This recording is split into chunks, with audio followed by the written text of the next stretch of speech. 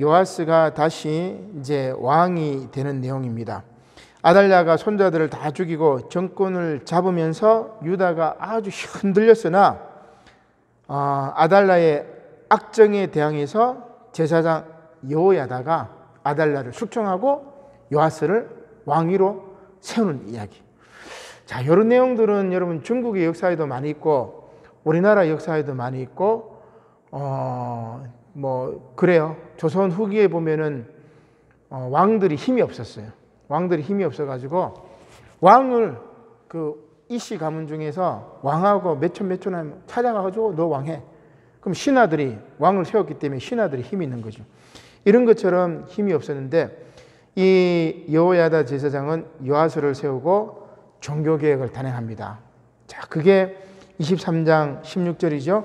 시작. 여호야다가 자기와 모든 백성과 왕 사이에 언약을 세워 여호와의 백성이 되리라 한지라. 종교 개혁을 단행하고 그 다음에 요아스는 뭐예요? 정신 제대로 바뀐 사람입니다. 여기 요아스 나오잖아. 그죠? 자, 24장 4절 요아스의 치세입니다. 24장 4절 시작. 그 후에 요아스가 여호와의 전을 보수할 뜻을 두고 성전이 이제 문을 뭐 이렇게 완전 들다보지도 않아 가지고 아주 성전이 뭐, 뭐 고장이 많이 났어요. 그래서 성전을 수리하려고도 했고 그 다음에 어, 요아스가 뭐 종교 개혁을 단행한 내용들이 쭉 나옵니다. 그러나 요아스가 죽은 다음 그 다음에 구대 왕이 누구냐면 25장 5절 아마샤입니다. 25장 5절 시작. 아마샤가 유다 사람들을 모으고 그 여러 족속을 따라 천부장들과 백부장을 세우되 거기까지. 자, 이 3대 아마샤도 어, 이 에돔과 전쟁에서 승리를 합니다. 14절에 보면 아마샤가 에돔 사람을 죽이죠. 그 다음에 북이스라엘하고 전쟁을 했는데 아마샤가 어떻게 하냐면 북이스라엘하고 싸우다가 죽습니다. 에돔하고 싸가 이겨놓으니까 야 이게 내가 뭐 북왕국하고 싸워도 이기겠구나 자만한 거죠. 어, 자 17절입니다. 25장 17절. 유다 왕 아마샤가 상의하고 예후의 손자 여호아스의 아들 이스라엘의 왕 요아스에게 이름은 남유다의 요아스하고 똑같지만 다른 왕입니다. 북왕국 이스라엘의 왕 요아스에게 사신을 보내 야 만나자 서로 대면하자 한번 붙자. 어. 근데 안 됩니다. 어, 이 자기가 이제 안 돼, 지는 거죠. 남북 동족 간의 전쟁입니다. 우리나라 6.25 전쟁처럼. 그때 아마샤는 어, 이 반란자들에 의해서 죽임을 당하고 유다가 전쟁에서 북왕국인데 져버리는 겁니다. 자, 이렇게 됐고 나라가 혼란해진 다음에 다시 왕이 된 사람이 누구냐면은 우시아입니다. 힘들었던 시대에 왕이 된 인물인데 이 우시아는 또 10대 왕입니다. 26장 6절 시작 우시아가 나가서 블레셋 사람들과 싸우고 거기까지 자 우시아도 괜찮은 왕입니다. 어, 블레셋과 싸워서 이기고 어, 이스라엘하고 졌지만은 진 이후에 나라를 이렇게 좀 잘 다스립니다. 그런데 문제는 말년에 또 문제입니다. 26장 16절 시작 그가 강성하여짐에 그의 마음이 교만하여 악을 행하고 거기까지. 그래서 19절 마지막 절에 보면 그의 이마에 뭐가 생긴지라 나병. 그래서 우시아 왕은 나병 때문에 죽는 거죠. 이 우시아 왕이 죽던 때에 사명을 받는 사람이 누구예요? 이사야 1장 1절에 보면은 아, 아 이사 1장 이사야 6, 장입니까 이사야가 사명을 받죠. 나라가 북왕국하고 전쟁에서 졌고 혼란한 상태 속에서 우시아가 왕이 되었는데 그나마 우시아가 잘 다스리는데 교만해 가지고 왕이 죽었죠. 그때부터 이제 민족이 이제 몰락의 길로 내려가는데 그때 나타난 예언자가 이사야라고 할 수 있습니다. 자, 그 다음에 뭐 중요하지 않는 왕들도 넘어갑시다. 27장의 11 11대 왕 요담입니다. 27장 2절 요담이 그의 아버지 우시아의 모든 행위대로 여호와 보시기에 정직하게 행하였으나 여호와의 성전에는 들어가지 아니하였고 백성은 여전히 뭐하였더라? 부패하였더라. 그 다음에 12대 왕 아하스는 28장 1절입니다. 아하스가 왕위에 오를 때 나이가 20세라. 예루살렘에서 16년 동안 다스렸으나 그의 조상 다윗과 같지 아니하여 여호와 보시기에 정직하게 행하지 아니하고 자, 이 아하스 왕은 기가 막힙니다. 2절에 한번 보세요.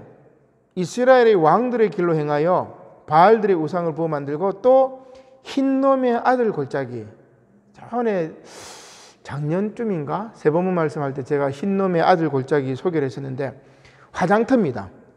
그 화장터에서 사람 태우는 냄새가 계속 나잖아요. 그죠? 이 흰놈의 아들 골짜기에서 뭐예요? 인신 제사를 했단 말이에요. 기가 막히죠. 음. 3절 마지막 절에 보세요. 이방 사람들의 가정한 일을 본받아 그의 자녀들을 불사르고 또 산단과 작은 산 위와 모든 푸른 나무 아래에서 제사를 드리며 분양하니라. 이제 나라가 우시아 왕이 출권한 다음에 요담도 마찬가지, 아하스도 마찬가지, 점점점 타락해져 가는 거예요. 이렇게 타락했을 때 하나님께서 기회를 주십니다. 무슨 왕이 나타나느냐? 히스기야 왕. 우리나라도 어, 임진왜란, 병자호란 조선 시대 때 민족의 위기를 겪었죠. 그 다음에 나라가 이제 다시 조금 세워지려고 할 때가 누구냐면 영조, 정조 르네상스라고 그러는데 그때 다시 나라가 왕권 강화가 되어서 나라가 조금 설라하다가 그 이후에는 이제 내리막길로 처박히는 그건데 우리나라의 영조 정조 임금을 우리는 히스기야 시대로 이렇게 보면 될 것 같아요. 자, 29장 2절입니다. 히스기야가 그의 조상 다윗의 모든 행실과 같이 여호와 보시기에 정직하게 행하여 이 히스기야는 이사야에도 많이 나오죠. 자, 30장에는 히스기야가 유월절을 다시 제정해서 지키는 겁니다. 30장 1절 시작 히스기야가 온 이스라엘과 유다의 사람을 보내고 또 에브라임과 문하세의 편지를 보내어 예루살렘 여호와의 전에 와서 이스라엘 하나님 여호와를 위하여 유월절을 지키라 하니라. 그 다음에 31장에는 레이인들을 성전 제사의 중심으로 세우고 어, 그들에 대한 이제 그 직분을 맡기는 내용입니다. 17절 또 그들의 족속대로 족보에 기록된 제사장들에게 나눠주며 20세 이상에서 그 반열대로 직무를 맡은 레이 사람들에게 나눠주며 그러니까 성전을 수리하고 성대한 유월절을 지키고 레이인들 종교인들을 정비했다 이 말입니다. 그 다음에 32장은 히스기야 왕이 어, 아시리아하고 싸워서 이긴 겁니다. 사네비, 사네림 32장 9절 시작 그 후에 아스루 왕 사네립이 그의 온 군대를 거느리고 거기까지 어, 요 얘기가 이제 이사에도 나와요. 음. 근데 이 하나님만 의지해 가지고 사네립을 물리칩니다. 21절 시작 여호와께서 한 천사를 보내어 아스로 왕의 진영에서 모든 큰 용사와 대장과 지휘관들을 멸하신지라 거기까지 그리고 돌아가서 왕은 죽습니다. 자 이렇게 아시리아의 사네립이 쳐들어왔지만 이겼잖아요. 그런데 히스기야가 또 뭐예요? 어, 지금 여기는 나오지 않아. 여기는 나오지 않은데 이사야서에 보면 나와요. 뭐라고 그러냐? 바벨론의 사자가 와 와가지고 어, 염탐하러 왔는데 히스기야가 자기가 그 당시에 고대 근동의 아시리아하고 싸워서 이겼으니까 아 막 뻑인 겁니다. 그러면서 무기 창고하고 온 나라의 내부 구조를 다 보여준 거예요. 그래서 바벨론이 옳다구나 하면서 이제 쳐들어와 가지고 그 후손 때 요시아 왕 죽고 난 다음에 쳐들어와 가지고 유다도 망하게 되는 거죠. 뭐 히스기야 이런 극인데 오늘 여기 역대기에는 이제 히스기야의 승리만 나오고 그 다음에 히스기야의 기도가 나옵니다. 24절입니다. 32장 24절에 히스기야가 병들어 죽게 되었을 때 여호와께 기도함에 응답하셔 가지고 어, 히스기야가 15년입니까? 그, 그 생명 연장 당했던 일이 나오고 그 다음에 히스기야가 죽은 다음에 33장에는 문하세 가장 또 남유다에서 악독한 왕이 문하세인데 33장 1절입니다. 문하세가 왕위에 오를 때 2절 여호와 보시기에 악을 행하여 이제 내리막길로 가고 그 다음에 그 아들 15대 왕 아몬인데 33장 21절입니다. 아몬이 왕위에 오를 때 나이가 20세라 예루살렘에서 2년 동안 다스리며 22절 그의 아버지 문하세 행한 같이 여호와 보시기에 악을 행했고 여기까지. 자, 그다음 16대 드디어 이제 요시아가 나옵니다. 히스기야 나왔고 요시아. 자, 요시아가 성전을 수리하고 하나님의 율법책을 발견하고 종교개혁을 단행하는 내용이 34장입니다. 34장 1절 시작 요시아가 왕위에 오를 때에 나이가 8세라 예루살렘에서 31년 동안 다스리며 여호와 보시기에 정직하게 행하여 거기까지. 그 다음에 8절입니다. 중간에 보니까 하나님 여호와의 전을 수리하려 하여. 그죠? 그 다음에 14절 중반에 보니까 제사장 힐기야가 모세가 전한 여호와 율법책을 발견하고 성전 수리하다가 하나님의 율법책을 발견했다는 말입니다. 그 말씀을 읽고 자 22절에 보면 중요한 얘기 나오죠. 이에 힐기야와 어, 제사장 힐기야와 왕이 보낸 사람들이 누구를 찾아가요? 여 선지자 훌다에게 찾아가서 물어보는 거예요. 이 뜻이 뭐냐? 그래서 제가 우리 성서 여성들 할 때 훌다 장면 기억납니까? 훌다는 최고의 조직 신학자라고 제가 이제 말씀드린 적이 있는데, 어, 이 율법책에 대해서 훌다가 막 설명해줘요. 그러면서 종교개혁을 단행했던 멋진 여선지자입니다. 근데 성경에는 한 줄 정도밖에 안 나와가지고 훌다를 우리가 뭐 그냥 넘어가 버리는데 아주 위대한 여성 율법학자라고 볼 수 있겠죠. 모세만큼 위대하라고 볼 수 있겠습니다. 자, 그 다음에 마지막 35장에는 요시아 왕이 어, 이제 대외 정책을 잘못해가지고 어, 이 뭡니까 그 죽음을 당하는 건데 그 애굽하고 애굽하고 바벨론하고 싸울 때 애굽이 팔레스틴을 지나가서 바벨론하고 싸우러 가는데 그 길을 막아버린 겁니다. 35장 20절입니다. 이 모든 일 후 곧 요시아가 성전을 정돈하기를 마친 후에 애굽 왕 누고가 유브라데 강가에 갈그미스를 치러 올라왔으므로 요시아가 나가서 방비하였더니 자 애굽 왕 바로 누구입니다. 이 누고가 유브라데 강은 어디에 지금 메소포타미아 지역이니까 바벨론 지역입니다. 갈그미스 아, 요 이 바벨론 지역으로 전쟁하러 가는데 요시아가 그 전쟁하러 가는 길을 막아버린 거예요. 자, 그러면 이렇게 생각하면 돼. 애굽은 저기 일본이라고 생각하고 바벨론은 중국이라고 생각하면은 일본이 중국 치러 갈 때 조선 보고 길을 터라고 얘기했잖아요. 그죠? 그것처럼 애굽 왕 바로누고가 이 요시아에게 길을 터라 하면서 우리가 바벨론 쳐들어가겠다고. 그러니까 이 요시아 입장에서 뭐예요? 왜 우리 땅 지나가냐? 거예요. 그래서 싸워가지고 요시아가 전사합니다.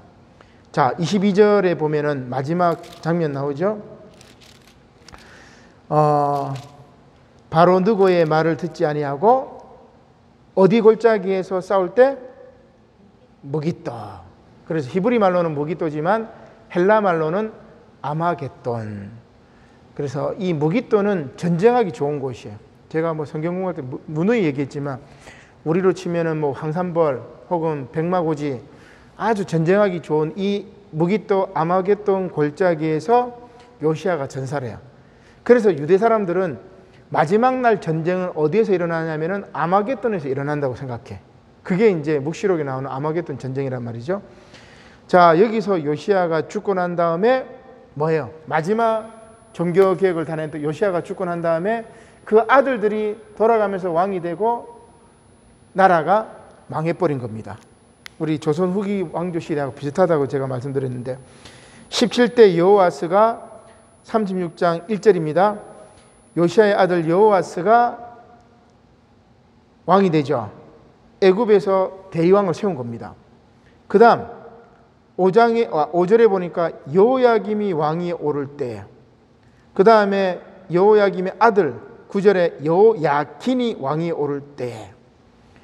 그 다음 다시 11절에 시드기야는 요시아의 아들입니다. 그래서 여기 나와 있는 여호하스, 여호야김, 시드기야는 요시아의 아들이고 여호야긴만 여호야김의 아들이에요. 어, 그거 여러분 잘 보셔야 돼요.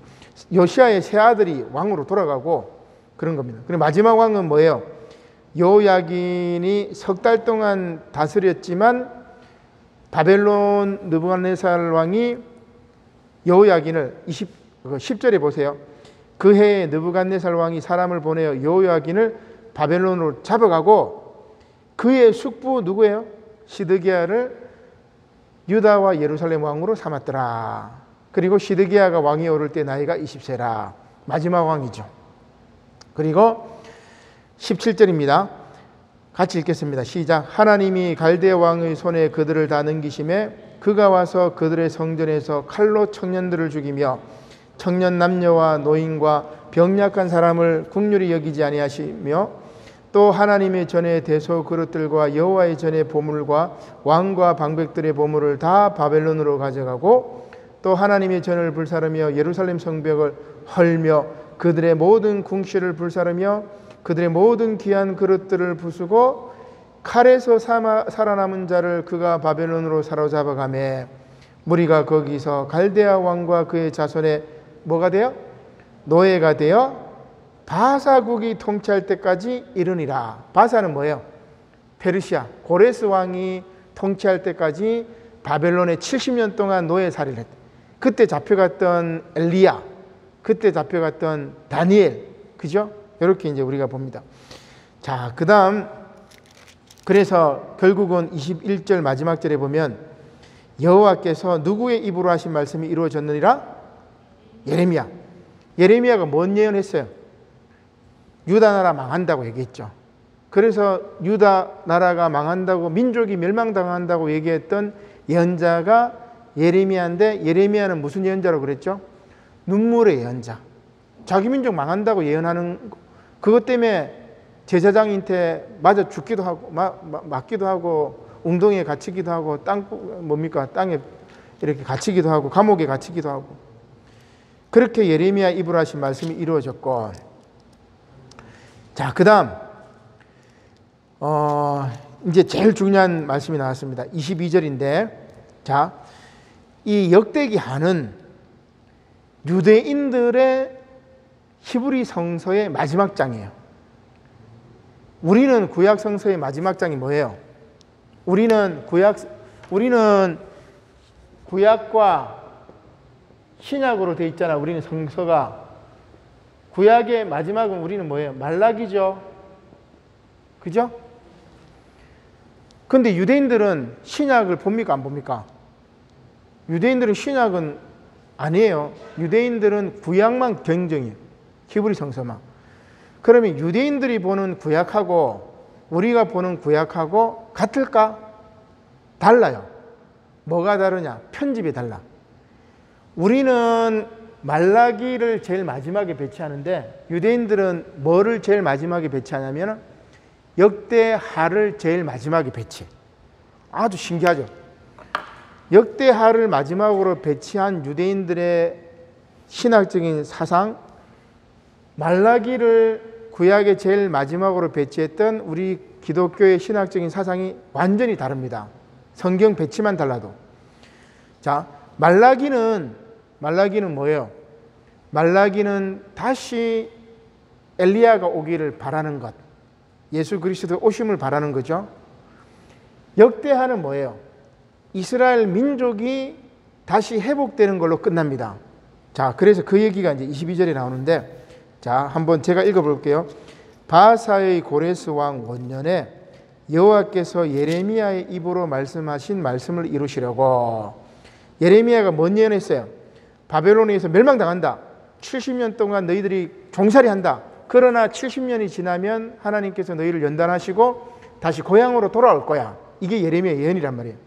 그래서 예레미야로 하신 말씀을 이루려고 여호와께서 바사의 고레스 왕 페르시아입니다. 지금 이란 이란의 고레스 왕의 마음을 감동시키심에 그가 온 나라에 공포도 하고 조소를 내려 이르되 바사 왕 고레스가 이같이 말하노니 하늘의 신 여호와께서 세상 만국을 내게 주셨고 나에게 명령하여 유다 예루살렘에 뭘 건축하라? 성전을 건축하라. 그죠? 역대기 사가 관점이 딱 나오죠.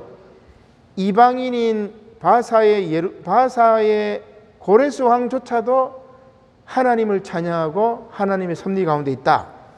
성전을 건축하라 하셨나니 너희 중에 그의 백성 자는 다 예루살렘으로 갈지라 올라갈지어다. 너희 하나님 여호와께서 함께 하시기를 원하노라 하였다. 이렇게 끝나요. 유대인들의 성경, 성경은 이렇게 끝나. 그러나 우리는 여기서 끝나지 않죠.